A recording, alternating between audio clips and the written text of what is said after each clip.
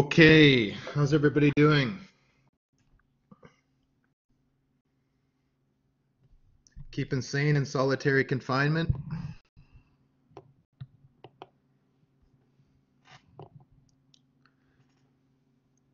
Or not? Good. All right. So hopefully this can give you something to uh, talk about, think about today, if you haven't dove into anything else. So, what I'm going to talk about tonight is uh, something that is dear to my heart because it's something that I'm working on a lot now. Um, the intersection of disasters, climate change, and nature based solutions. So, I've entitled this uh, Disasters, Climate Change, and Nature Based Solutions Look to Nature, but do so practically. Now, I chose to uh, say that because uh, for those that work in the environmental field, like us, or study in it, we always default to look to nature, right? Um, look to nature for the solution, right? Take natural remedies and so forth if you've got a cold or whatever. And I, it's it's no different in um, in disaster risk reduction. You know, a default in the environmental community always seems is look to the nature-based solutions, which I agree with in principle, but I've included a caveat here um, to do so practically because sometimes nature-based solutions won't cut it. So, uh, you know, we need to also think about things practically. All right, so I'm going to dive right in, and I've highlighted climate change. Now, I'm not saying that's the only thing, but you know, that's one of the big ones that um, certainly we're it's becoming more and more problematic uh, in from a disaster standpoint, the the kind of the the secondary effects that result from the, the different dimensions of climate change from a disaster standpoint. So that's a big problem, right? So starting with climate change, um, the if we're to, and this is going for those that are taking a course right now, the the one group that we tend to want to migrate to when we, we start with that issue is the IPCC. So the IPCC is the scientific organization that's responsible for the processing of the science related to climate change, um, the different working groups, physical basis, mitigation, and adaptation. Now, uh, if you're not familiar with them, um, check them out. If you are working in this field, you should be familiar with them. So there's a link, uh, and there's a, enough information there to kind of keep you busy for a long time if you wanted to. Um, to summarize some of the predominant themes and the concerns, um, is the there's kind of major issues are um, one is the mean temperature. So mean temperature is increasing, but the the stated goal is to keep that below two degrees Celsius, with a goal of keeping temperature below 1.5 degrees Celsius.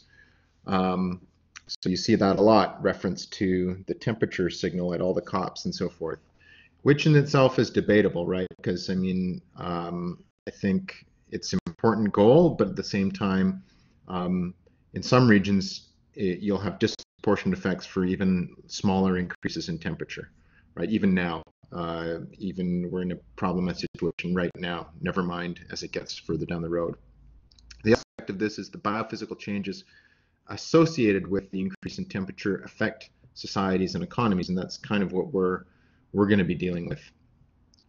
Um, there is a higher climatic variability is expected and observed. So this is one of those. It's not just about an increase in temperature per se, uh, but it's also about the increase in uncertainty and climatic variability that's associated with that. Um, and so one of the, the key underlying issues there, especially in the disaster space, is the need to adapt uh, and understand where the risks are and where we're exposed, and then act accordingly. So, disasters.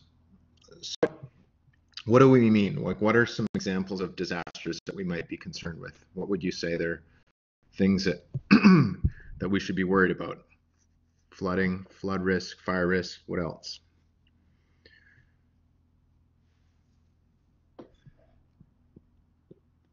Diseases, yes, like pandemics hurricanes, monsoons. Yep. Anything else? Biodiversity loss, sure. Drought, yep. Sea level rise, yes. Coastal erosion, yes. See, there's a lot of linkages between these issues, right? So we've got droughts, landslides, floods, sea level rise, uh, tsunamis, right? See, I don't think anybody mentioned tsunamis. Tsunamis is a big one. We've seen that problem before. Um, we've got earthquakes, uh, energy storms. Uh, earthquakes aren't really linked to climate change per se, but they can be exacerbated from the effects of climate change. And uh, energy storms, ocean acidification, sure. So lots of different things. Uh, food system crashes, sure. Uh, so that's the other thing is looking at where are the, how do these effects cascade and how do they, kind of what are the different dimensions to it, okay? So what are the links to climate change? For one, there's an ex expected increase in extreme weather events. The extremes are getting more extreme, so greater extremes and more of them. Uh, higher degree of variability, there's a higher frequency of storms and high energy storms um, there's a bigger population. So this is something that's a basic thing that a lot of people don't think about. Is there's, there's simply more people on the on the earth, right? And there's more people uh, in places that are more prone to these impacts. Therefore, the risk and vulnerability is greater. So the result is a bit of a problem for food security. Uh, it's a, a, bit of a problem for human security, and it's a so problem for social sustain social stability as well as as a problem for ecosystem sustainability as well. So I was just anthropocentric kind of approach to it, but we also think about what are the risks to ecosystems. And, you know, we saw that when uh, in the most recent fires in Australia, where, um, you know, people pulling koala bears out of these raging forest fires was, you know, I mean, that's, yes, we're con concerned about the health of human species, but we also, it's not just us, right? There's, as other species on this planet. And it was very evident when you get one of those poster um, poster child species um, getting, you know, kind of you know, subject to a lot of like pain and suffering. I've seen some videos on YouTube of the koala bears. It's heart wrenching. So ecosystem approach. Um, so what is this? What's the ecosystem approach? Um, right? Well, this essentially this means that we factor in ecosystem services and ecosystems themselves into the policy response. So the questions we have to ask is how can ecosystems help address the issues? Uh, of what importance are they to us? And we need to critically assess the role ecosystems play in helping us adapt to climate change and reduce the risks to disasters. So uh, in terms of ecosystem approach to climate change adaptation, we need to think about what the anticipated impacts are. So for instance, uh, uh, variability, more extreme events, higher temperatures, storm surges. How can ecosystems play a role in adapting or increasing resilience? So another uh, consideration is how economic adaptation can be fostered, i.e. payment for ecosystem services and putting a price on these kind of things. That's one way of kind of monetizing or encouraging um, a positive incentive for conservation that has multiple co-benefits right? So for instance, conservation of mangroves in the, in the coastal zone can lead to greater buffering from storm surges. So it's not just about, say, enhancing biodiversity, but you're also potentially reducing losses of, uh, of, a, of a disaster scenario. Okay, so um, in each one of these cases, when we look at disasters themselves, when we have to look at the ecosystem approach to disaster risk reduction, uh, we need to look at what are the specific things that we're going to look at so if it's droughts, landslides, floods, whatever. And then uh, look at the preconditions for each of these, right? So uh, the probability of a landslide, for instance, uh, would be uh, increased if you have unstable land, high slopes, uh, an area that has potentially high rainfall, right? Those are just three variables right away that would contribute to that. And then determine how ecosystems can play a role in minimizing them right? So, I mean, that's one thing, but but I mean, and that sounds quite intuitive, but my experience working with this stuff is um, you you have these intuitive solutions, or you kind of have an idea, but then you also need to understand what are the frameworks, the understood frameworks for how people uh, kind of deal with these issues from a policy standpoint. And this is where I think some some of us scientists fall down, sometimes is because we have these ideas, but we don't understand what's the vernacular of the policy community? Because there's been people working on this stuff for a long time, so we need to understand the language and the frameworks that they use. So uh, I'm, I'm, there's a there's a very kind of common disaster risk reduction framework that um, that is that is prevalently used that I will I can't share it with you because I've got on my screen, but I'm going to talk about it and I'm going to include it in the handout or in the the cliff notes I'm going to call them. Okay, so there's five stages. So um, you have first you have risk identification. Identify, quantify the risks, and link that to vulnerability. If you don't know where there might be some risks, then it's hard to kind of implement mitigation solutions. So you can typically do that, or one way of doing that is doing risk maps. So we've done a lot of that kind of work, my, myself and my team, where you look at, okay, well, let's say flood, right? If you're in Alberta, they've done some good stuff with the Bow River and so forth.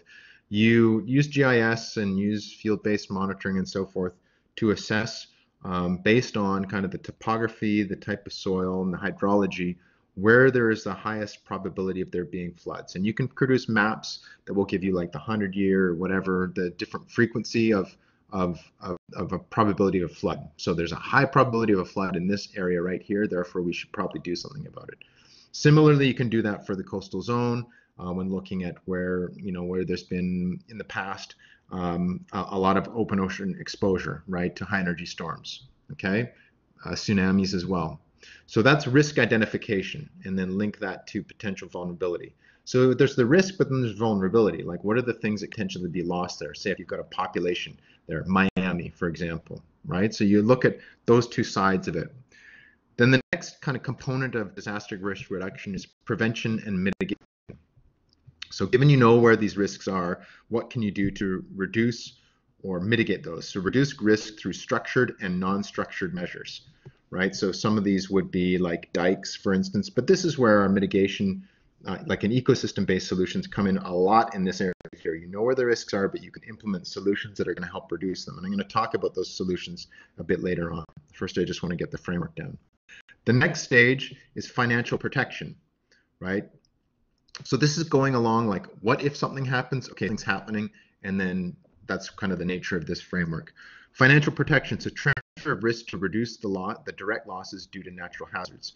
So what is financial protection? Like what's an example of that? One word, starts with I. Yes, insurance. So insurance is heavily involved in this. And in fact, you know, there's a lot of uh, insurance companies that have very active research teams that work on climate risk and so forth. I've had former students of mine that are working in that field, and uh, and colleagues as well. And and Swiss Reinsurance Company has done a ton of work on climate adaptation and climate risk and so forth. So insurance is a huge component of this because the reality is there's certain things we can mitigate and there's certain things we cannot mitigate, and therefore we need to have proper financial protection in place when things go wrong. Okay. And then fourthly, preparedness and response, consistent and adequate response capacity and emergency response. So I'm going to share some examples of that as we go forward. And then recovery. So recovery mechanisms, continuity of operation, rehabilitation, and reconstruction. All right. So those are like the five components of the traditional um, traditional DRR framework: risk identification, prevention, mitigation, financial protection, prepared response, and recovery. Okay, so going to the first one, we look at like uh, what are some sites that might be might be evident uh, of of the, where there could be a problem. Now I've got a photo in front of me which I'll include in the cliff notes, which is of a tour that I did when we were working in St. Lucia, looking at land-based problems. So in St. Lucia, for those that haven't been there before, uh, is a very very mountainous Caribbean island right? It's volcanic, so there's uh, there's big mountains on it. So you get a lot of like really high slopes, and it's in that region in the Eastern Caribbean where you know in the rainy season, storm season, they got a lot of rains. So when going for that tour around, this is with their um, focal point for the land degradation convention and our client. We took a look at some of these areas. So we found some areas where right by the road you had this high slope that had been logged or at least cleared, and uh, it had slid down. Like actually, that had been a site of a previous landslide, which basically covered the road during a high rain. So it was obviously going to be uh, a risky area, but what they had done was they had gone about and, and planted um, uh, vegetation with extensive root systems. And so at this image here, which you will see later on, uh, is showing that there's forested area all around, but then in this one area that there had been a landslide, there was like kind of the start of regrowth of vegetation to help stabilize that, right? But the, the key there is to look at where these areas are vulnerable and then what kind of intervention, this is minimal intervention, can be done to stop that, okay? So, um, uh, so if we try and link this with biodiversity then, um, uh, how would this kind of come up in discourse around biodiversity, right? So in the policy community, often people work in, in silos, although it's becoming better and better. And so the disaster risk reduction group has their events and they do their thing, and then the biodiversity ecosystems people have their events and they do their thing. But you know, we like to see there's a need for obvious overlap in these kind of institutions, if you will. So co-benefits with policy is one way of like articulating that. What are the co-benefits? So in one of these uh, conferences that I was actually, there, why would this come up at a biodiversity conference? Well, there was 50 inter interventions in one and a half hours on this exact subject. And the reason for that, this is at a biodiversity conference, conference uh, CBD, UN Convention for Biodiversity Conference. And the reason is that there's so, much, so many kind of increasing discourse around this and concern is there's an increase in demand. It's a growing problem for many of the parties and therefore they are interested in acting. So it was very clear in this uh, instance, and it's clear in the text if you look at it, that the conserving biodiversity in line with keeping ecosystems intact and also to uh, fostering um, disaster risk reduction. Okay, um, I'm going to then talk about the disaster governance. So the, the nature side of it is uh, at uh, the biodiversity convention level, and they have this whole kind of nature-based solutions for climate change is a big, big thing that's happening more and more, more and more talk about it. But disaster specifically is given less attention there uh, because climate change is so prevalent, but they're really one and the same thing in a way. So if we want to look at disasters specifically, we have to ask ourselves first who governs it. So do you know what international organization governs or is responsible for policy for, for disasters? Anybody? Uh, UN DRIP, uh, UN Declarations for Rights. That's UN Declaration Declaration of Rights for Indigenous Peoples. So they would have a connection, but not explicit. Not that's not their main focus. That's for Indigenous peoples. So Sarah, yes, you're you're you're half right. It is there is a UN body, but there's a specific UN body, and this is it. Okay. DRR. Uh, Yes, there you go. Exactly, DRR. So UNDRR is, uh, if you take a look at that website, is the um, UN Office of Disaster Risk Reduction, UNDRR.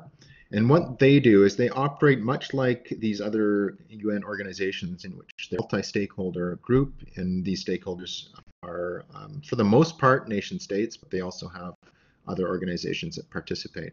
So they bring government um, partners and communities together to reduce disaster risk and losses to ensure a safer and more sustainable future. It used to be referred as UNISDR, but uh, they changed their name as they do uh, recently, or at least in the last couple of years. Uh, and it is the focal point, UN focal point for disaster risk reduction. And they are overseeing the implementation of something called the Sendai framework, okay, for disaster risk reduction from 2015 to 2030. So you'll see there's not coincidentally, there's a 2030 time horizon on this. And so what this framework is, it's supporting countries in implementation and monitoring and sharing what works and reducing existing risk and preventing the creation of new risks. Okay, so you get these things, frameworks, like they are kind of working policy um, uh, guidelines, I guess. Okay, so here's a link to the Sendai framework. Bang the Sendai framework, yes.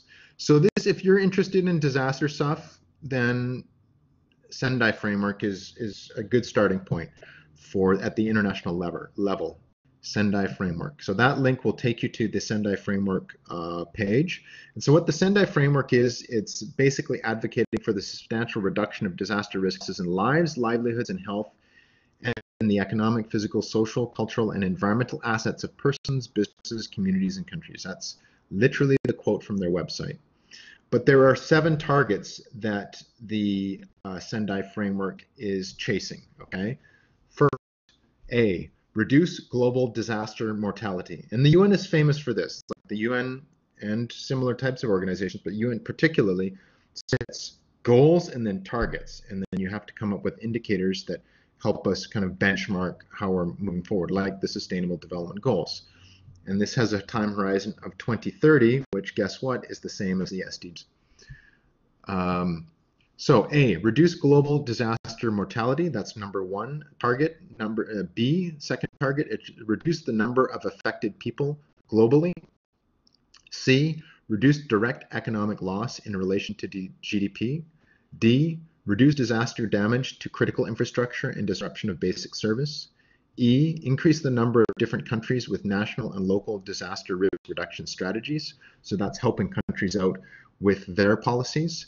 F, substantially enhance international cooperation to developing countries, meaning a large part of that is don donor money going to countries that need to become more resilient. And then G, increase the availability of and access to multi-hazard and early warning systems. Okay, so those are the seven kind of targets that have been laid out under the Sendai framework. Okay, so given that, I mean that, and now we need to like say we've got an idea at the international level of how this stuff's working. You know, we know climate change is a big problem. There's certain hazards associated with it. We've got the Sendai framework, which is kind of some general guidelines as to what we're trying to do to increase security.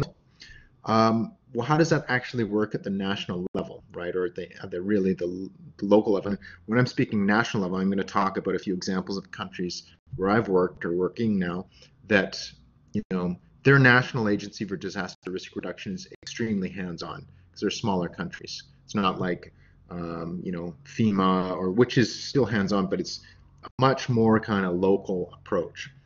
Okay, so national response. So when we're looking at these countries, that are in many cases highly vulnerable to some of the things we've laid out landslides and floods and storm surges and so forth um, one of the places to look at right away to determine what's going on even if you come in you know with a general idea is to go to their national office of uh, their agency that's responsible for disaster risk reduction okay so eh, i'm giving you some examples here each one country should have an agency that's responsible for this.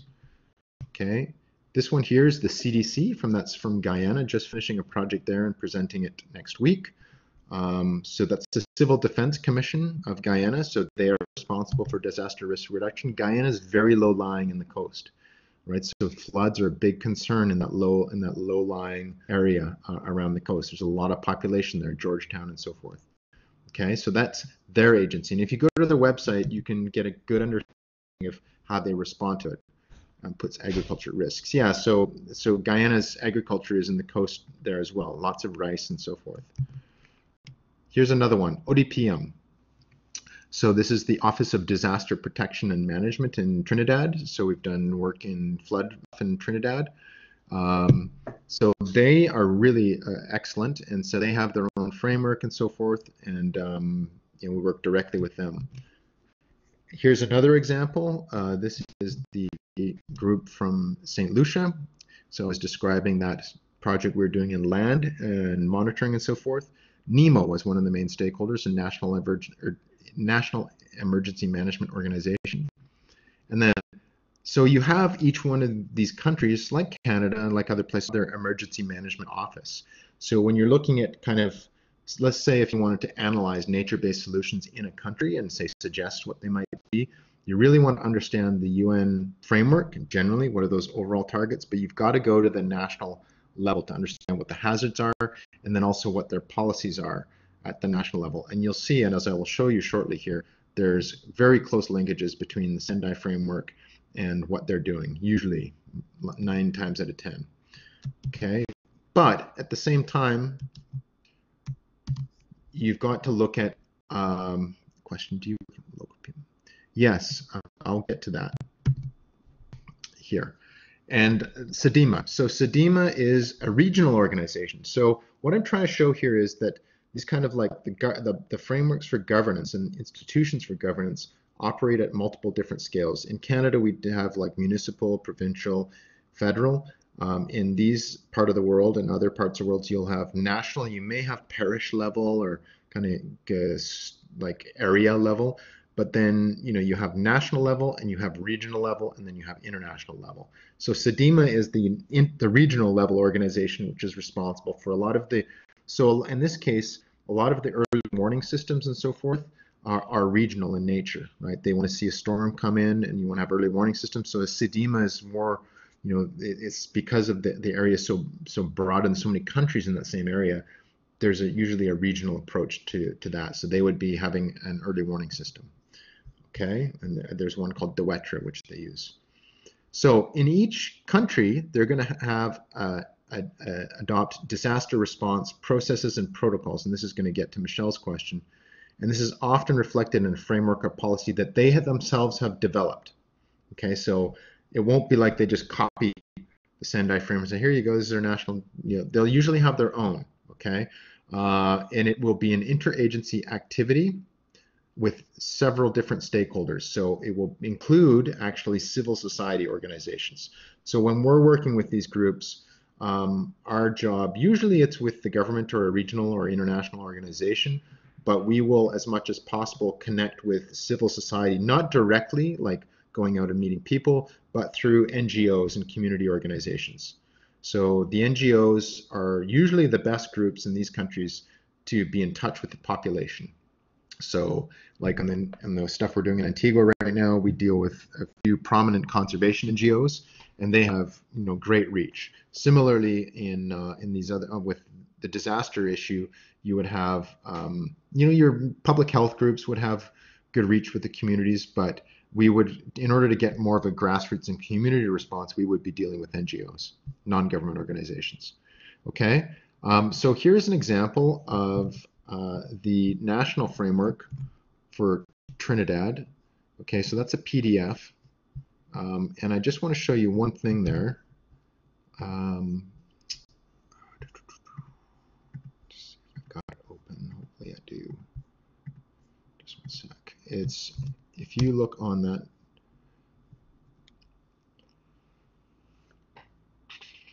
just one sec. If you take a look at, so you can see there's a comprehensive disaster management policy framework for Trinidad and Tobago by the ODPM. So it has all these basic terms and so forth. It's a big PDF with a bunch of stuff. And if you go to page 11, you will see um, their kind of consequence management framework.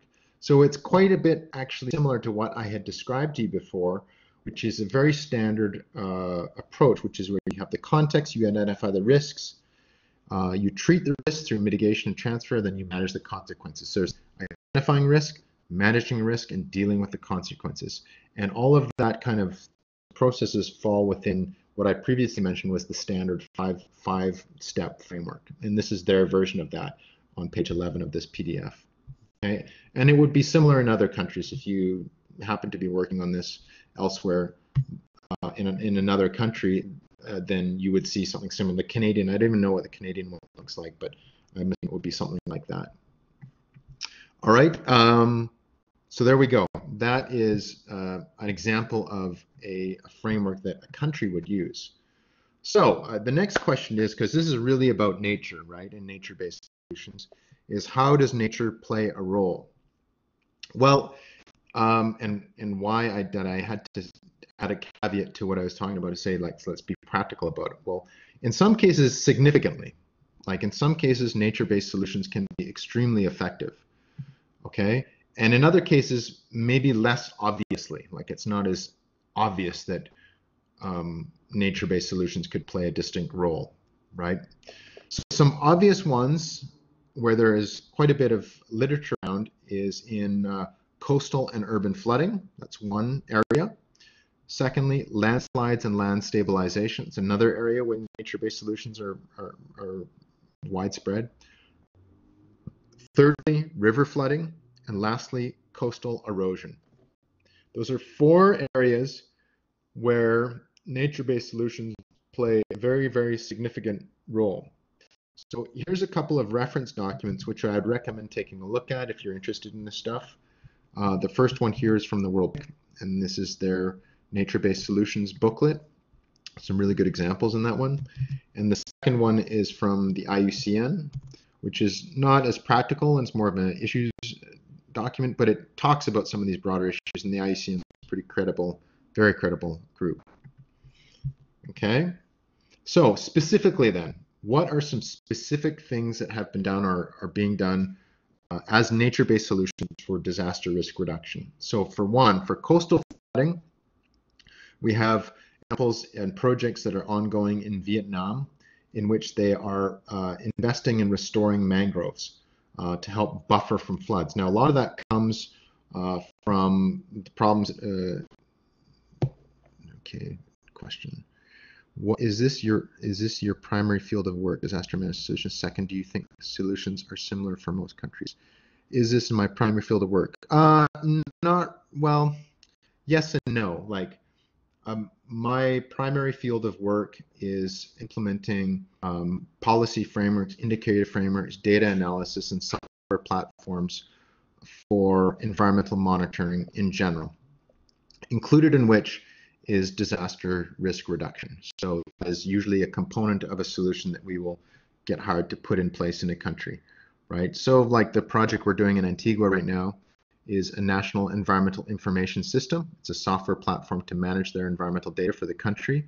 And then a component of that, one of the stakeholders we met in order to assess what they need and what they now that is that software is primarily for reporting to multilateral environmental agreements for climate change, biodiversity, and uh, land degradation specifically. But nonetheless, one of the groups that we met with uh, was the Office of Disaster Management in Antigua. Similarly, for St. Lucia, when we did that project there, we met with uh, with NEMO, uh, and then Guyana, CDC. So it's it's a component. It just kind of if you're dealing with climate change stuff and environment, disaster is going to be in there. Second question: Do you think solutions are similar for countries, for most countries?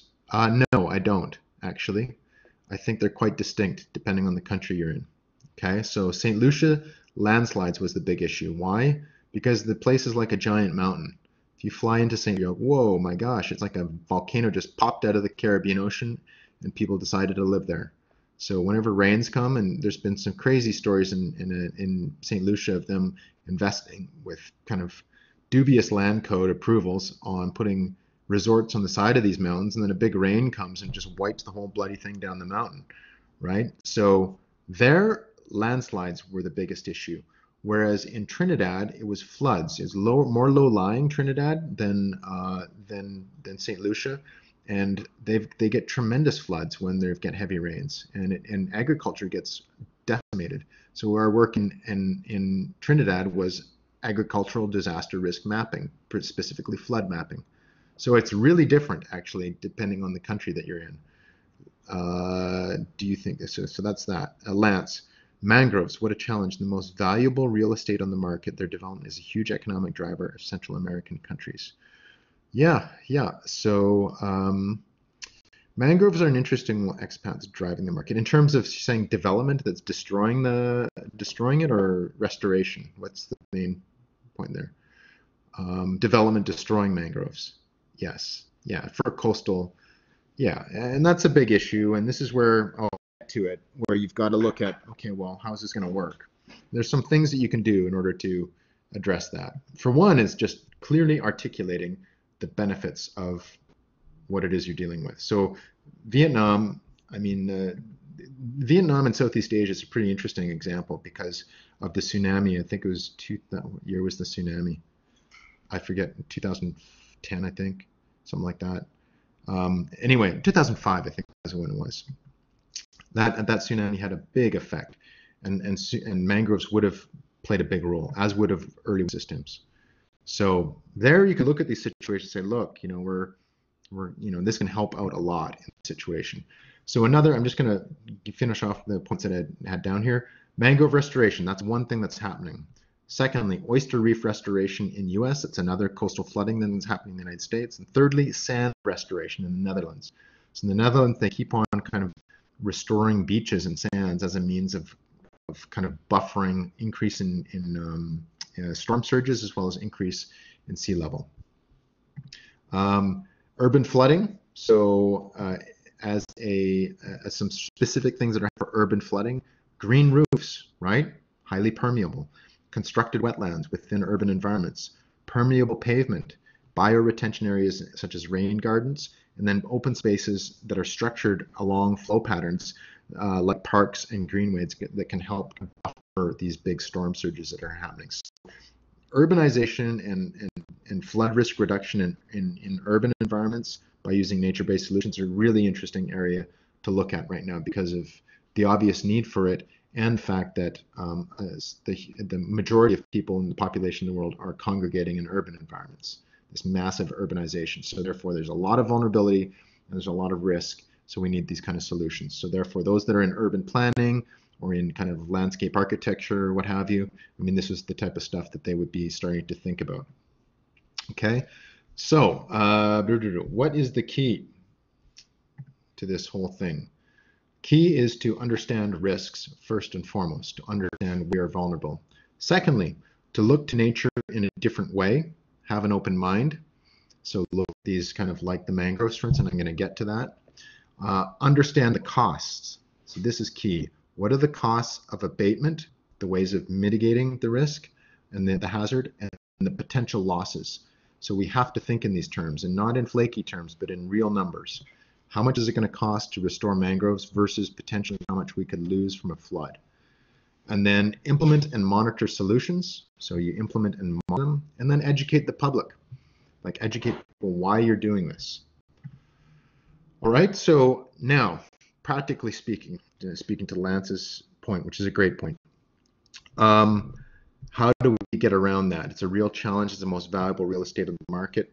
Well, there's a lot of different things that are happening. Like awareness is one of them.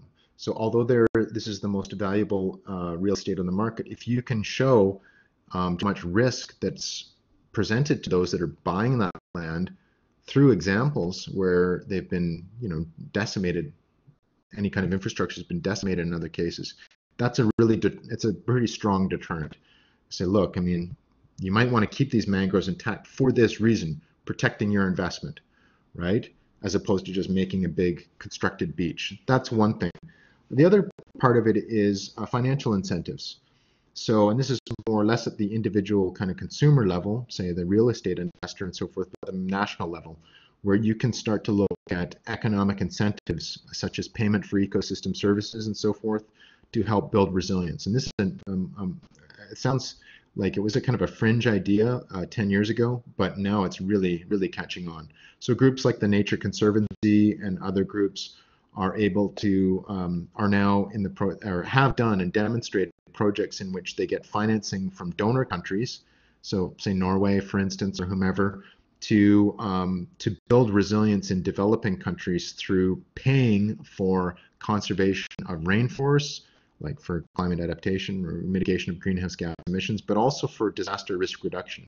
If you can see where mangroves are going to have a huge return on investment um, for a country, you can structure deals in which um, uh, the um, the financier gets uh, again, the donor can realize and, and, and see the benefits and monitored benefits of reducing the risk of disasters through that application of the funds.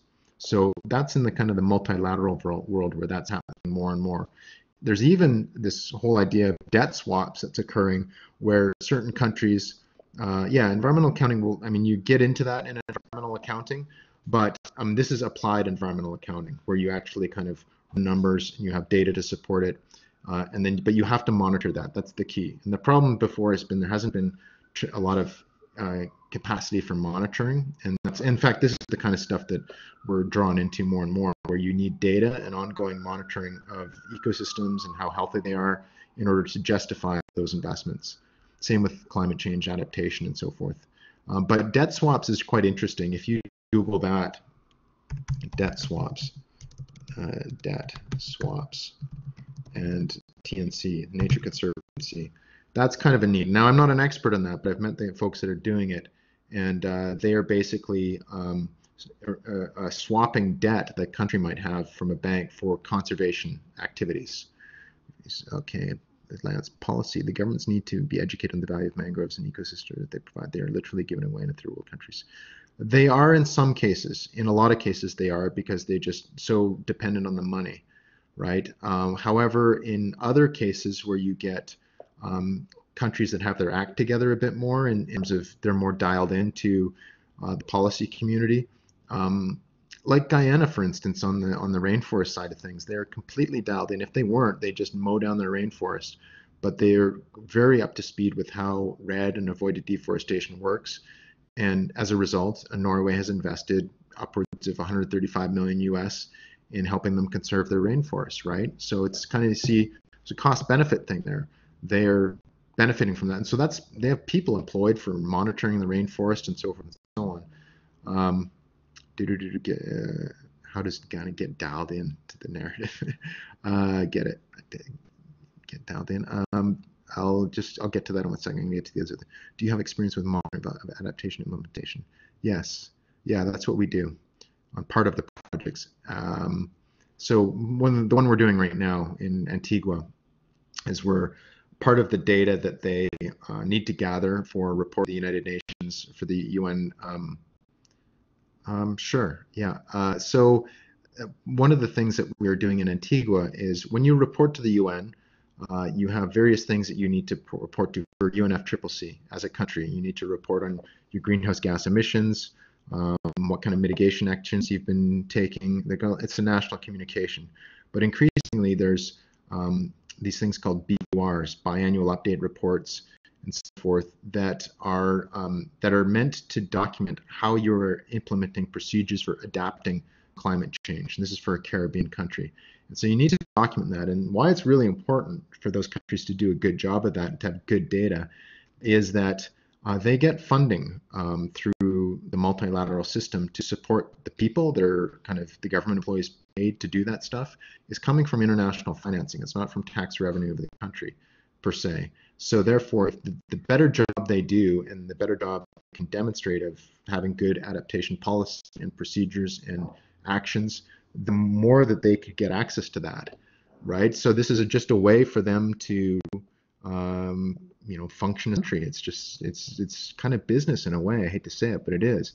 So we have direct experience with that. In fact, it's just a month ago I was down there meeting with them, and we're working on that right now. Um, so, question: How does Guyana get dialed it dialed in to that narrative? Well, in Guyana's case, there's, I mean, the UN is really responsible for leading charge with that, and so they have UN Environment Program is a very strong office in Guyana. Um, now, in, in, other circumstances, you have um, UNDP or the World Bank. Any any of these countries has good relationships with the multilateral organizations, either the UN, World Bank, Inter, Inter-American Development Bank, and so forth.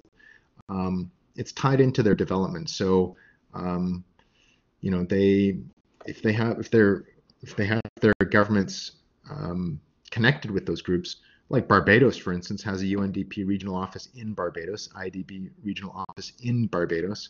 So they're they're intrinsically dialed in for in Barbados. And the other countries, Dominica, uh, Saint Lucia, uh, Saint Vincent and the Grenadines, it's the government people that are like agency level people that are that's their job to be connected with that those organizations. It's part of their responsibility. That's how it kind of works there. And Guyana is a special case because um, I don't I don't know if it's special or not, but they I guess for whatever reason there's a lot there's a big emphasis and, presence there right now. Um, part of which I think has to do with the fact that um, they're a little lower on the development spectrum. So when there's country that's a little lower on the development spectrum, they get more attention, right? So Costa Rica, right? You don't see people running around all over Costa Rica. Why? Because they they got their act together in a way, they've got a lot of tourists.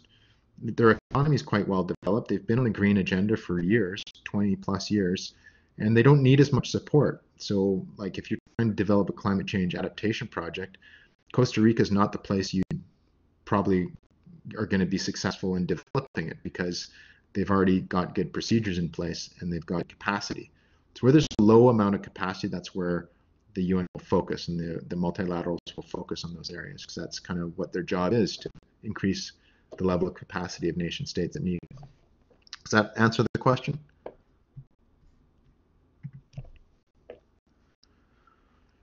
Okay. Uh, so there we go. Um, where was I?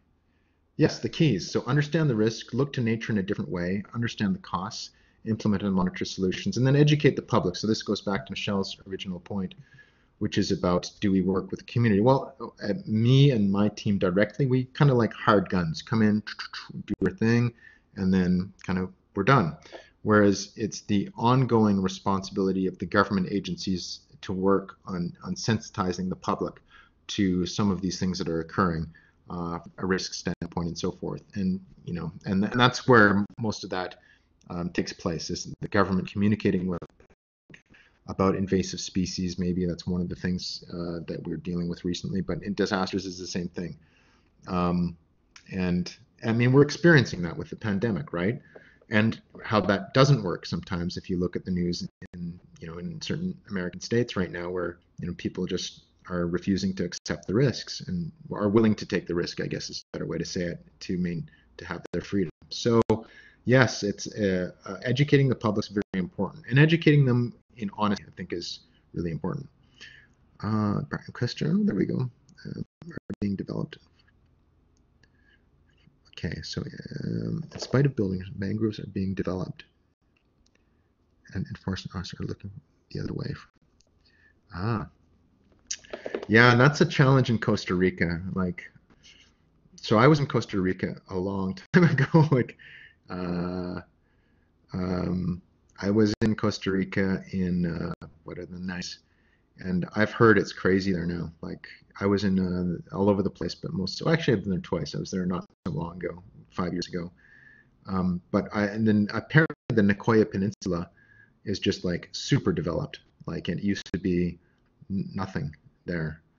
You know, like um, yeah. So so that's the other side of it. Like Costa Rica, like I was saying, like does Costa Rica need help? No. Why? Well, because they've got like a lot of economic activity that has gone in, into uh, goes into there. There's a lot of development, but that's not to say that there's they've got the problem solved. Like those are the problems that come along with that when you have a lack of institutional capacity and regulations aren't being followed. Then you know you get those issues. Miami. I mean, that's a that's a North American problem, really, or a developed world problem, right? In a way, um, as much as it is in the developing world. Some of the most progressive stuff that I see happening in this field is happening in developing countries. It's not not in like the Costa Ricas of the world or the places like that. It's it's in these other places. So I guess that's a that could be a reason for being optimistic, um, but that's what I've seen. So to conclude, um, disasters, climate change, and nature-based solutions. Uh, yeah, absolutely. Um, lots of neat stuff happening in the space right now. Um, a lot of opportunity. Uh, I just I, I like to put in that caveat: be practical about it. I've seen a lot of people in our in our field be very practical about it and having these kind of like these solutions which aren't really well thought out and not properly quantified and monitored with good data. The economic numbers are way off, and that does nothing but um, kind of erode the credibility of, of these kind of solutions. That's the problem, and that's why what I don't I don't want to see that because then then you're not taken seriously. Any questions?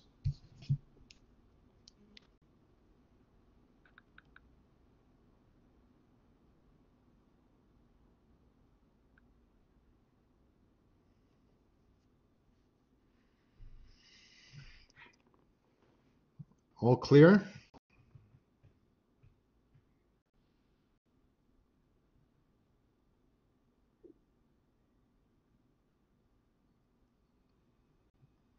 think it's clear. It's a good idea to do this. Yes. So, and then these links, you've got them here, but I'm actually going to get all this stuff on the sheets and I will post it to the Moodle, but then I'm also going to put it in the comments in the YouTube video so that anybody can get them. I think I can do that. I think I can link a PDF. I'm not sure. I'll double check that.